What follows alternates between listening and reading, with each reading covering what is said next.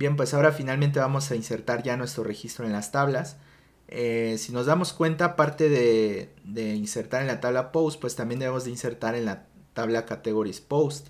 Aquí el inconveniente pues es simplemente que nos pide un ID post y un ID category para poder relacionar.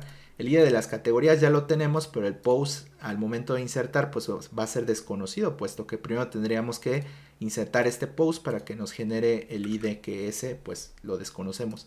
Entonces vamos a usar la misma estrategia que lo hicimos como lo hicimos en las categorías o en los usuarios.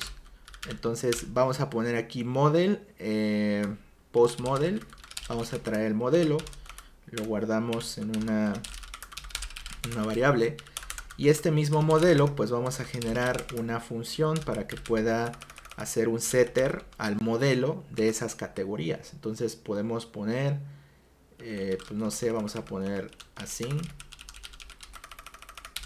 categories. Ok, esto sería una función que aún no existe. ¿Qué es lo que va a hacer esta función? Pues simplemente pasar las categorías que vienen de nuestro request.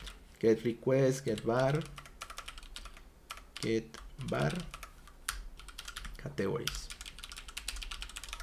Bien, entonces vamos a irnos al modelo y vamos a generar esta función que no existe.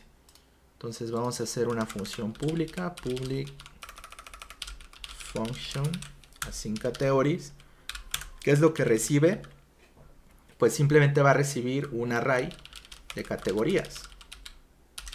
Ok. Eh, aquí lo que podemos hacer es generar una, una variable protegida llamada categories, la cual va a almacenar estas categorías en el modelo. Entonces puede inicializar como vacía, de tal manera que aquí mismo en esta función que va a servir como setter, pues vamos a poner categories. Vamos a poner aquí, eh, en este caso, categories. De esta manera, pues ya al, ejecutar la función, pues va a asignar las categorías y esto ya no sería vacío. Entonces, vamos a tener que utilizar de nuevo un callback. Podemos ponerle aquí como store eh, categories. Este callback, pues obviamente se tiene que ejecutar después de ser insertada los registros en la tabla de post para que podamos obtener ese ID del post y ya lo podamos asignar a las demás tablas. Entonces vamos aquí a poner eh, protected function store categories.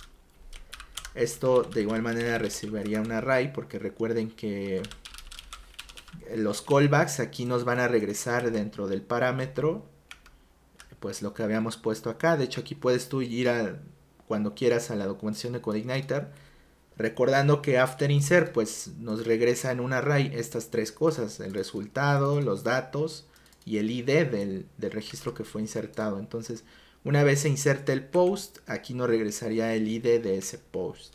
Ahora, lo que podemos hacer aquí es primero comparar si categories, o sea que categories no sea vacío. ¿Ok? ¿Por qué hacemos esto? Pues simplemente porque esto puede ser opcional. Si el usuario no envía categorías y se ejecuta el callback, bueno aquí debería de ser this categories. Si el usuario no envía categorías y se ejecuta el callback, pues eh, se ejecutan digamos acciones aquí de inserción, pues fallarían y mandarían un error porque las categorías son vacías. Entonces lo que esté adentro del if simplemente se tiene que ejecutar cuando esto no sea vacío. De lo contrario, pues nada más retornamos data o lo que nos está llegando aquí. Entonces, Aquí adentro pues ya podemos ya comenzar a trabajar ahora sí con nuestras categorías. Ok, vamos a abrir nuestra terminal y aquí mismo vamos a generar un nuevo modelo para eh, poder para poder eh, generar un modelo para la tabla de categories post. De hecho, eso no, tenemos este modelo de categories post que nos va a servir obviamente para insertar en esa tabla. Entonces, vamos a poner php spark make model categories, bueno, vamos a ponerle enter, categories, post. Ok, listo. Entonces ya tenemos aquí nuestra tabla preparada. De hecho, eh, nada más hay que modificar aquí un poco porque la tabla se llama categories-post, entonces así quedaría. El ID primario pues no tiene, entonces esto lo podemos ahorita omitir, no es autoincrementable. Eh, de esto yo creo que nada más le podemos que retorne como un objeto. Ahorita para esta tabla no necesitamos entidades ni nada de eso. Los soft deletes tampoco. Tampoco deberían de funcionar. Con campos protegidos, pues aquí nada más serían los campos protegidos de ID post y ID category. ID post y ID category. Y eh, pues ya aquí lo de las fechas y demás, esto tampoco lo vamos a ocupar, tampoco validaciones y callbacks pues tampoco. Entonces todo esto ya lo podemos borrar, simplemente que queda algo muy sencillo así. Entonces eh, guardamos aquí el modelo y ahora sí pues podemos mandarlo a llamar.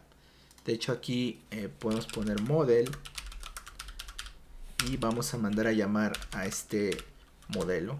Podría decir cp model, Vamos a ponerle así. Bien, entonces ahora lo que debemos hacer, como ya estamos recibiendo un array de categorías, pues vamos a necesitar, por ejemplo, generar una estructura que pueda, eh, con un insert batch, poder meter varios registros a la vez. ¿Cómo logramos eso? Pues vamos aquí a generar un array vacío y vamos a hacer un for each para todas nuestras, en este caso para nuestras categories. Entonces vamos a poner aquí this categories, es decir, itera todas nuestras categorías y eh, toma aquí el valor para utilizarlo. ¿Cómo podemos eh, generar una estructura que, pues pueda concordar con eso? Simplemente vamos a poner aquí a utilizar nuestra variable cast, vamos a hacerle un push y vamos a meter otros arrays adentro. En este caso el array que debería de meter aquí, pues debería de decir id category y el id post. Entonces, aquí lo que debemos hacer simplemente es pues llenar con sus valores. En este caso el id category pues tendría que ser v porque trae el valor de la categoría y el id del post pues tendría ya que ser el id, o sea, va a ser el mismo para todo lo que se genera aquí. Ese como lo obtenemos, pues simplemente lo que llega aquí como data con corchetes id. De esta manera pues ya tendríamos al final pues todas las categorías que envió el usuario ya las tendríamos con esta estructura. ¿ok? Entonces una vez ya tengamos preparado ese arreglo pues ahora sí ya podemos utilizar nuestro modelo cp model para hacer un insert batch y meter en este caso pues nuestro eh, pues ya nuestro arreglo de categorías ¿no? que se llama cats Listo. Entonces, hasta aquí pues ya yo creo que debería de, funcionar esta, esta, cuestión. Aquí finalmente también pues podemos retornar data, return data. Bueno, no, no es necesario porque ya se ejecutaría aquí, entonces así quedaría. Bien, pues entonces vamos a regresar a nuestro controlador y ahora sí vamos a hacer ya todo. Vamos a insertar nuestro artículo y ya no nos vamos a preocupar por las categorías. Antes de insertar nuestro artículo, pues vamos a poner aquí, acomodar todo. Eh, vamos a poner aquí post, insert. Recuerden que esto trae el modelo, o sea, aquí debería de ser más bien post model, insert. Y vamos a tener que pasarle nuestra entidad. Entonces aquí está nuestra entidad. Vamos a guardar y vamos a dirigirnos a este lado. Vamos a regresar, vamos a recargar aquí, vamos a llenar aquí no sé, vamos a ponerle D, cualquier cosa aquí, vamos a seleccionar una imagen, una fecha de publicación, dos etiquetas, le vamos a guardar y al parecer no pasó ningún error, entonces vamos a irnos a la base de datos, vamos aquí a data, recargamos y vemos que ya insertó nuestras categorías. Este ID post pues ya se encuentra aquí como 4, que sería, inclusive esto ya es la data de, de nuestro artículo, ya la podemos ver de este lado. Y eh, lo que está acá pues es, es el ID de las categorías, que seleccionó uno que es PHP y también seleccionó dos que es JavaScript. Entonces vemos que esto ya se encuentra funcionando. Entonces ya con esto ya tendríamos, digamos, nuestras inserciones listas y ya funcionales. Entonces ya por último, nada más vamos a mandar una alerta. Para eso pues vamos a irnos de este lado y ya podemos borrar aquí la, depuración. Eh, obviamente si aquí algo llega a fallar, pues ya nos ejecutaría store, entonces ya nos evitaríamos tener basura en, eh, digamos, fotos que no estén asignadas a nada, pues con esto lo evitamos, por eso es que puse siempre el store hasta abajo. Y vamos a hacer, vamos a hacer lo clásico, ¿no? Vamos a hacer un return, redirect. En este caso debería de redireccionar a la tabla ya donde se van a mostrar todos los posts. Eh, para eso podemos poner root. debemos de buscar aquí en nuestras rutas. Voy a hacer la terminal. Eh, vamos a ver aquí que se llama post, la ruta que muestra, digamos, o debería demostrar todos los artículos. Entonces vamos a retornar a esa una vez y todo haya sucedido correctamente. Entonces nada más vamos a poner aquí with y vamos a mandar algunos mensajes que de hecho le habíamos puesto msg al parecer y aquí pues ya seguido de un array. Entonces aquí lo que podemos hacer es irnos a categorías y ver más o menos aquí cómo era la estructura para no tener que acordarnos. Entonces la pegamos de este lado para que funcione eh, la alerta. Entonces ya nada más le ponemos tipo success y aquí vamos a poner el artículo.